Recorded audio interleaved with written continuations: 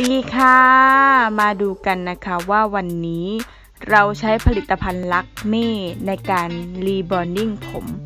ผมเส้นใหญ่แข็งแรงนั้นจะเอาอยู่ไหม ผลิตภัณฑ์ลักเม่นั้นเป็น natural product ค่ะทำได้บ่อยไม่เสียงมะเร็งเลย มาดูนะคะว่า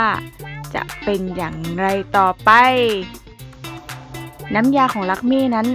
ลื่นเกลี่ยง่ายค่ะ แถมกลิ่นไม่แรงด้วย และข้อดีอย่างคือตัวบำรุงในลักเม่นั้นเขาเยอะดีจริง ๆ ค่ะทำให้ผมยืดออกมานั้นสลวยเงาเหมือนไม่ได้ยืดเลยยื่นแต่ค่ะกี่โมงคะสิบเอ็ดโมงเที่ยงเที่ยง มาดูกันว่าวันนี้พี่หนิงจะได้กลับบ้านกี่โมง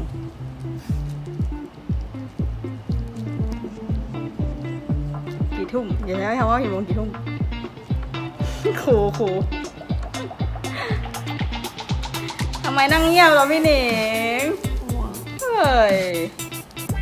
ไม่คุยกันเลยอย่าช่างก็หลับด้วยหรอกฟิตขนาดไหนเนี่ย นอนตีห้าเนี่ยลูกค้าโทรปลุกมีความจำไม่ได้นะร้าย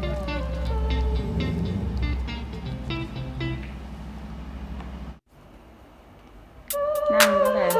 เอ็ด ยังไม่ได้ล้างเสร็จแล้วเสร็จสักทีผมเงาสวยมาก